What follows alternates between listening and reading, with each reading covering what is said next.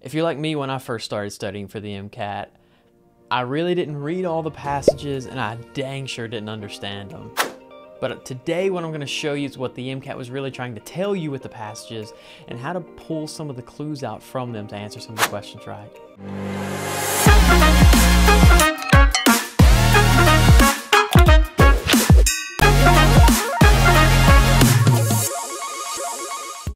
The strategy that we use to do this and to figure out what the passage is telling us and to, to map it out. Uh, it's called the flowchart method, and it goes by a million different names. If you go on Reddit or Student Doctor Network or you talk to your local MCAT tutor, um, you'll hear it called passage mapping or passage diagramming. Um, it really goes by a bunch of different names, but what I call it is the flowchart method because as you'll see one of my examples, it kind of looks like a flowchart. The basic premise behind the flowchart method is that the MCAT is actually going to tell you what it's going to test you on.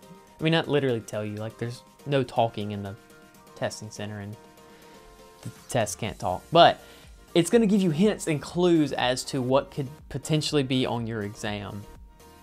And a good test taker knows how to pick up on those hints and clues and how to really capitalize on those and use them to their advantage. Another way to look at this is I'm kind of teaching you how to cut down on some of the fluff. Um, because there are a lot of things on the MCAT that are in the passages that you are not supposed to have known. If you see protein NRX69W underscore ZY, you're not supposed to know what that does. Okay, but you're supposed to be able to use the clues and the hints and the basic sciences that they give you in the passage to figure out what it does and tease out the relevant information. And the flowchart method is how I do that. Now, when it comes to mastering the flowchart method, there's really a couple steps that you need to keep in mind. The first one is you need to understand what is important in the passage, right? If you're gonna pull it out, you need to understand what is important so that you know what to pay attention to. Because otherwise you're just gonna get, you're just gonna feel like you're getting slapped in the face by a 700 word essay because you kinda are. Those two things are basic sciences and relationships, or at least that's what I call them. Now, the basic sciences is a little tricky because when it comes to basic sciences, what I mean is we are looking for any science that you remember from your MCAT prep book, and I don't care which one that is, um, or from your undergraduate classes, your core classes. I know there's some of you that have taken astrophysics and dolphin biology and things like that. And we're not really worried about those, but if you remember it from general biology or biochemistry, you know, if you see enzyme or amino acid, that's a basic science. Okay? That's one of the things that you want to pay attention to are basic sciences. And the reason it's so difficult is because I expect my students and I expect you now to begin identifying those basic sciences before you've even finished reading your content book. The second thing that I'm looking for from a passage that has been shown time and time again to be tested frequently, just like basic sciences, are relationships. Now, relationships can be any linkage between two things. And I know that's incredibly vague, um, but that's because it could be a direct relationship. You know, we could say hormone X causes impact Y. Or it could even be saying that our new molecule is actually a neuron-specific GABA inhibitor, something like that. Anything like that. If you see a link between two molecules or really two sciences, whether you're familiar with those sciences or not, that's going to be a relationship. And I really emphasize using arrows pretty heavily in this portion of your flowchart method. Although I'm kind of an arrow slut, I like them everywhere. But That's kind of the first step is figuring out what exactly belongs in your flowchart. It's basic sciences and relationships. And then the second step is figuring out how to place them in your flowchart. You know, how to organize this because if it's there and it's just listed out, that may be helpful, but it wouldn't probably be quite as helpful as if you could capture the overall flow of the passage. This is where it's going to be a little bit individualistic. Your flowchart should be easy to interpret for you. Um, my flowcharts aren't going to look exactly like yours all the, the, all the time, but they're going to have the same contents. Now this generally works best with arrows and abbreviations because, I mean, you've got to keep in mind the test is timed, right? So you can't, you can't rewrite the passage uh, or, or spend even even really more than five or six minutes on a passage. Otherwise, you're, you're just going to run out of time on the questions. But whatever shorthand you prefer is going to be best, just a way to keep it concise and accurate. The third step to really mastering flowcharting is just becoming efficient. It's gonna take you a long time at first. I mean, I'm rewriting the way that you read. I'm rewriting, I'm telling you what to pay attention to, and it's things that you normally would have skimmed over. So kind of rewriting this process and coming to a point where you are not only paying attention to these basic sciences and these relationships, but now you're writing them out and you're a little confused about the reason why and the purpose. Um, it's to take you a little bit longer at first, so expect to see um, some negative performance outcomes at the beginning, but that's because we're laying down a foundation to really build upon. Because most students make the fatal mistake of thinking that their improvement is going to come on the right side of the page, meaning the questions. At the beginning, and honestly at the very end as well, your major improvements will come from the left side of the page, meaning the passage. So now that you've seen the steps to the flowchart method, it's really important that you kind of see it in action.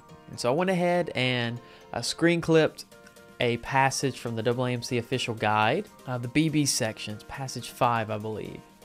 So I'm going to read it to you, and this is actually what it looks like whenever I'm reading this passage. These are the things that I pay attention to. So, um, as you can see on the right hand side of the screen is my passage. Then on the left hand side of the screen, I'm going to take some notes, then, but that would typically be on scratch paper. But nevertheless, here we go.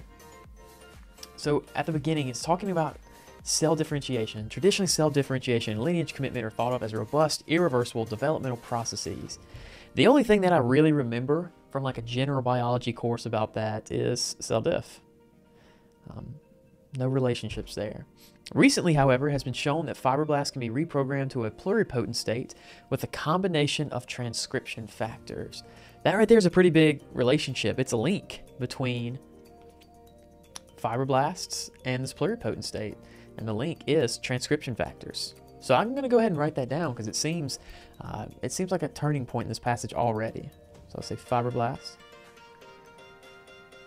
transformed into pluripotent cells using transcription factors. These results have caused scientists to question whether specific transcription factors could induce other defined somatic cell fates and not just an undifferentiated state. Okay, that's actually a pretty interesting science. So it's this idea of, um, this is a little side science lesson, but essentially, differentiation states are totipotent, pluripotent, multipotent, and then you become fully differentiated. So you can become a somatic cell of any kind. You can be a toenail or a taste bud. Um, and what they're essentially saying, fibroblasts down here, is generally we only go downstream. However, they have found that we have the ability to go upstream using transcription factors, and that's unique. So we can take this defined cell, use a transcription factor, and make it pluripotent again. And what they're curious about, this hypothesis that they just laid out for us right here on the last sentence, is whether or not we can actually take a specific transcription factor and come back down to a different cell. So can we take a fibroblast and make it into a neuron? Very similar to could we take a toenail and make it into a taste bud? I'm just not quite as dramatic. The scientists set out to test whether neural linear specific transcription factors could convert embryonic fibroblasts from tau EGFP mice. You see how this is just a big, long run-on sentence? You're, you're going to have to break it up. And so the commas are excellent breaks. So make sure once you get to a comma, if you're in the center of a giant sentence like this, take the time to say, do I actually understand what the heck we're talking about already? Um, and so here they're really just taking transcription factors from neurons and converting these fibroblasts, converting them into what? Into neurons. Okay, so that kind of skipped the inside part where they're just describing what green fluorescent protein is. Okay, so can we take fibroblasts from tau EGFP mice and can we use these transcription factors that are neuron specific and can we turn them into a neuron. That's a huge relationship. Figure one, I, I, I we'll jump in. We'll jump into figures a little bit later, um, but for the most part, they usually get skipped or, or briefly glanced over. It says 12 days after infection, scientists observed the presence of cells that displayed bright green fluorescence and were positive for TUJ1. Okay, so 12 days after we use this transcription factor, we get some cells. Um, they are positive for GFP, which means they are from this, um, this lineage. Right? That should kind of be your basic science there. Which reminds me, I forgot to list it. And they're also positive for TOOJ 1. TUJ1. So what is TUJ1? Because I don't remember that from a, high, from a undergraduate course. It actually tells you. TUJ1 is a neuron-specific class 3 beta tubulin. Okay, so something that's really, really important and helpful on the MCAT. And this gets into a strategy that's a little bit more advanced that I call foreshadowing, but I'm going to go ahead and introduce it now because this passage is so good for it. Anytime that the MCAT introduces something new, like a new science, like TUJ1, then they give you a big fat comma, and then they give you an explanation of what that new science is, it is very likely that you're going to get asked a question that essentially says, What is this new science? or How is it applied? or How is it helpful in our experiment? And the only way for you to get that right is if you spend your time focusing on these basic sciences. That's what they're really asking. They're not hoping that you memorize TUJ1 from some obscure book or something like that. They just want to know can you answer based off of the basic sciences? Okay? So that's what we write down in our flowchart then. So TUJ1, the basic sciences here, is that 1 is neuron specific. I, you probably remember tubulin from some of your classes. It's a protein, um, but that would be as far as I would go. So I would say it's neuron specific protein. That's as far as I would go. Okay, these cells also express several neuron-specific proteins, including NeuN. So they're doing it again. NeuN, which binds DNA. So I'm gonna say NeuN, and then I'll use my abbreviation for binds DNA. That's how I've always done it. I don't know why, but that's how I do it. Tests revealed that while the majority of the fluorescent cells produce the excitatory neurotransmitter GABA, and then they give you the structure, which is weird in and of itself. Um, it's another example of foreshadowing. A few produce the inhibitory neurotransmitter GABA. So some produce excitatory glutamate, sorry, and some produce inhibitory GABA. Okay, so we've got GABA being produced, which is inhibitory, and then glutamate, which is excitatory. And then we actually get their structures, which generally tells you you're going to get asked a question based on their structure. Um, but we'll see if they ask us those on this passage. It says a few, uh, it says much like neurons from the central nervous system. Okay, it does not say that these behave, that these are neurons from the central nervous system. It just says that they are cranking out glutamate and GABA, and neurons from the central nervous system also crank out glutamate and GABA. Okay, don't make too much of that relationship. These cells are not equal to CNS cells. They just make certain neurotransmitters like CNS cells. But the CNS is a basic science, so I'll go ahead and write that down.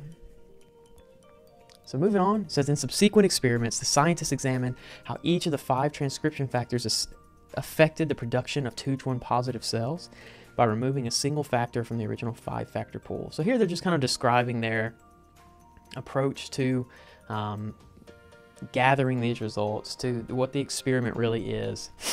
Um, and then it tells us that the results are shown in figure two. And so um, we have a strategy called figure interpretation that I'll dive into a little bit later that'll help us with, you know, figuring out what you actually need to do as far as interpreting this weird picture. It looks like Charmander's getting sliced up or something. Kind of made my eight-year-old heart cry. Or how to interpret this this graph that's got a bunch of things that I've never heard on it. Um, and so we'll dive into that a little bit later, but for the purposes of the flowchart method, this right here is all that you would need to know to get the questions correct on the MCAT. So if you know this, and then you know your required basic sciences, you really shouldn't be too worried about this passage on the MCAT. So just to summarize, these are going to be your basic sciences. the rest of this is going to be your relationships. So take some time to make sure that you understand um, the difference between the basic sciences and the relationships because this strategy is one that is going to build and build and build. So that's the flowchart method. I'll show you some of the questions that came along with that passage and you tell me whether or not you think it helped.